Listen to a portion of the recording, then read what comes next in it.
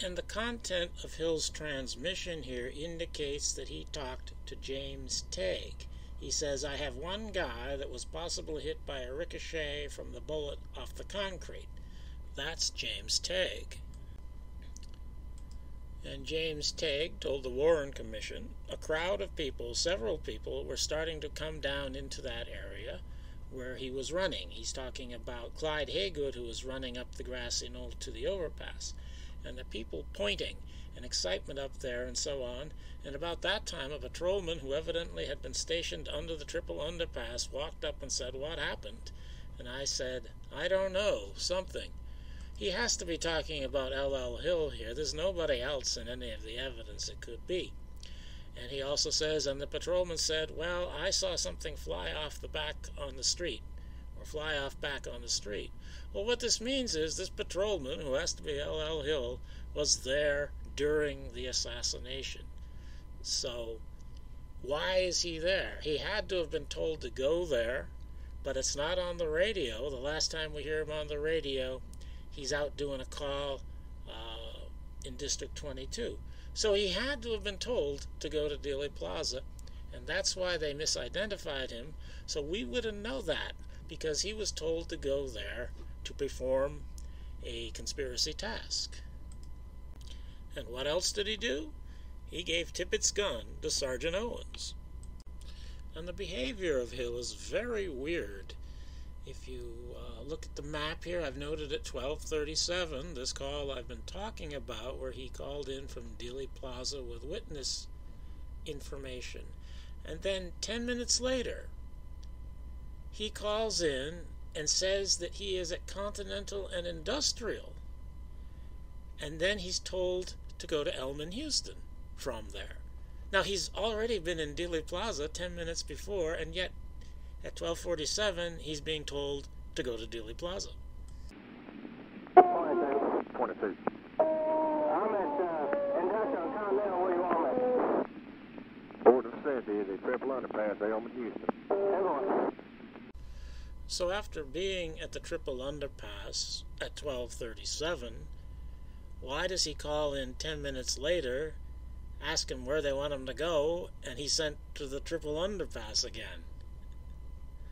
Uh, you, you might think we've missed some of the dialogue somewhere, but it's not on the radio. So I, I think what this is is that it was realized in real time by somebody that they didn't want 22 on the radio. And yet, after he called in the, on the radio, they decided they wanted to make it look like he hadn't been in Dealey Plaza. And one way to do that is to have him arriving in Dealey Plaza uh, 10 minutes later. So it looks like he's just arriving at 1247. If you don't know, he was already there at 1237. So what they're doing is they're hiding the fact that L.L. Hill was in Dealey Plaza at the time of the assassination. And after 1237, somebody who heard him on the radio apparently thought it was very important to make it look like he hadn't been in Dealey Plaza. So they had him get into his car and drive away and drive back to just be arriving at Dealey Plaza at 1247 or 1248, and you can see him in the uh, Martin film. At the end of the Martin film, Car 3 is just arriving in Dealey Plaza, and Car 3 is LL Hill's car. So there's photographic proof that he is arriving at 1248 or so. But we already know from the recording that he was in Dealey Plaza at 1237. So they're hiding the fact that he was in Dealey Plaza when JFK was shot. And that means he has a conspiracy task to perform in Dealey Plaza. And he's the guy who gave Tippit's gun to Sergeant Owens. And we can't demonstrate the chain of custody of uh, Tippit's gun, in, in quotation marks, from 10th Street because Callaway took the gun away from uh, 10th Street. And then we don't know for sure that he came back with the gun. We know Sergeant Croy had a gun, but then we don't know what Sergeant Croy did with the gun. So we don't have a chain of custody for the gun that ended up in evidence. and LL Hill was in Dealey Plaza to do something that they don't want us to know about. So I think what this means is that LL Hill got Tippit's gun in Dealey Plaza, that the gun on 10th Street was not Tippit's gun, the gun that Croy was holding was not Tippit's gun, but Tippit's gun was in Dealey Plaza and it was used in the assassination. And they wanted to make sure that if they needed to explain evidence of a 38 being used to shoot the president, that they would be able to blame somebody who was dead, and that's J.D. Tippit. So I think L.L. Hill is in Dealey Plaza to collect Tippit's gun. And so the L.L. Hill connection is what leads me to believe that the gun that was being used by William Greer was actually J.D. Tippit's gun. I could only speculate as to how he has got J.D. Tippit's gun. J.D. Tippit must have been involved in some way and must have been told something and must have given his gun to somebody who gave it to William Greer. Now, the theory that William Greer shot anybody is generally considered to be a silly, disproved theory. Anyone who tells you that it's debunked, however, is either lying or a fucking idiot. And don't believe anything else they say unless you can verify it. It's absolutely clear to me, after having studied this for quite a long time, that William Greer did shoot a gun, and that in frame, Zapruder frame 304 that this comes from, that he has something up in front of his face that has been hidden by a video editor by painting uh, flesh tone lines and dark lines on the object. And uh, I think that's meant to have it blend into the face as you're watching the movie. Uh, it doesn't hide it if you actually uh, examine the details, as I have done.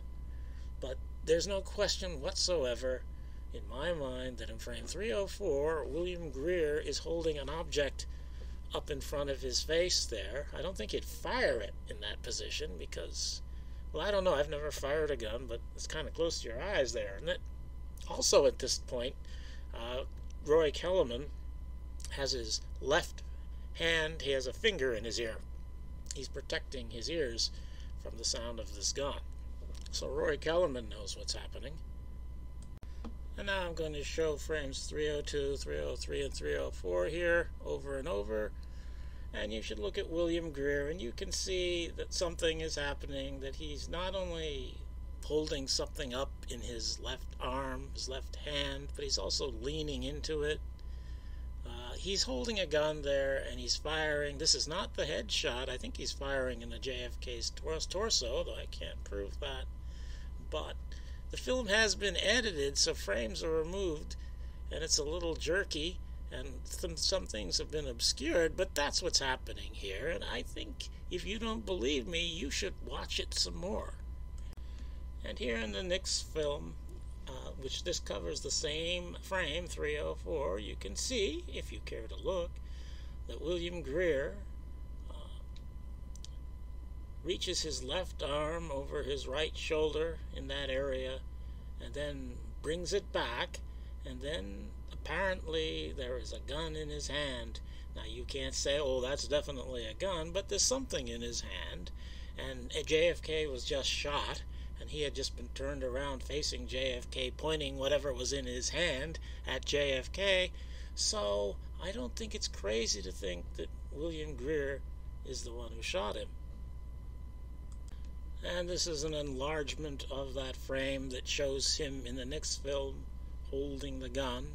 Now, yes, if there was nothing else and I just had this, then of course you wouldn't believe he was holding a gun. But you have to cram some context into your mind. It's not just this.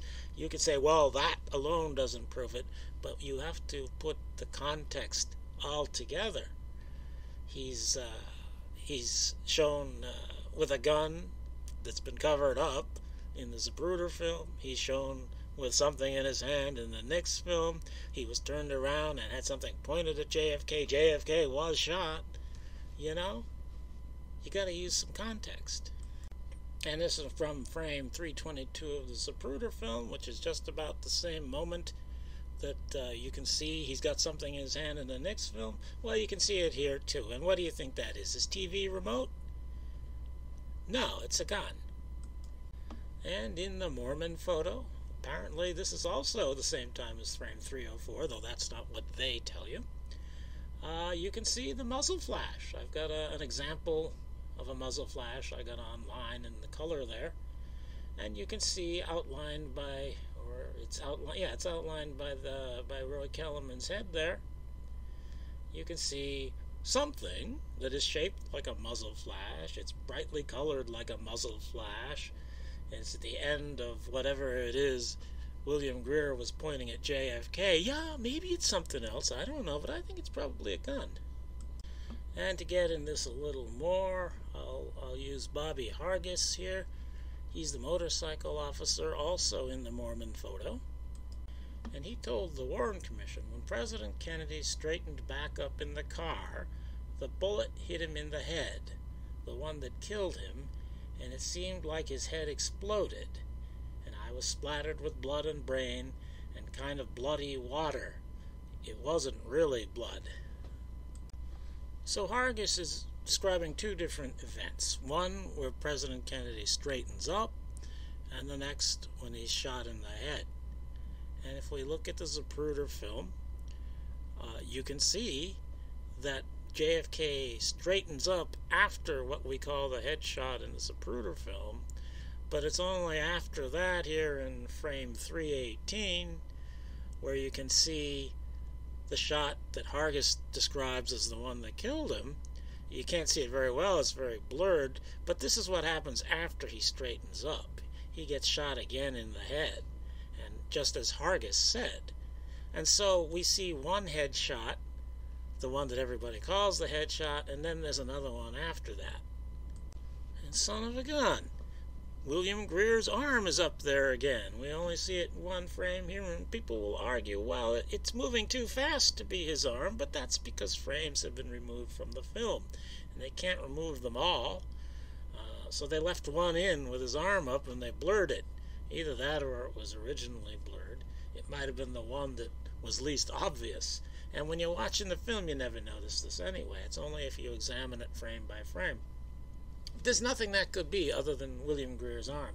Now, I'm not certain that he fired this shot that Hargis is talking about. I think William Greer was ready to fire another shot, but that maybe it came from behind the picket fence, or maybe he fired here too. I don't know. You can't you can't know everything. But you can know that William Greer had something in his left hand that he was pointing at Kennedy while Kennedy was being shot. And I think that's the important point for this video. And there's more proof that William Greer fired a gun because he also shot John Connally. And don't start whining about, oh, why would he shoot John Connally? I don't want to hear it. I'm not talking about why, I'm talking about the fact that he did. And we can tell this in various ways. One of these ways is by listening to Dan Rather after he watched a film in which he saw, obviously, when John Connally was shot. He saw that it was when John Connally was turned around and facing the sniper's window. That's when John Connally was shot, according to Dan Rather, who saw a film where he could see that. Governor Connally in the seat right in front of the president by the way, the governor had his, his suit coat open. His suit was not buttoned. Uh, perhaps he either heard the shot or somehow he knew that something was wrong because the picture shows just after that first shot hit the president. The governor turned in something this manner with his right arm outstretched back toward the president, as if to say what's wrong or what happened or say something, and exposed the entire white front shirt of the governor to the full view of the assassin's window. And as the governor was in this position, and President Kennedy behind him was slumped slightly over, a shot clearly hit the front of Governor Connally. And if you're watching on YouTube, this is the end of part three.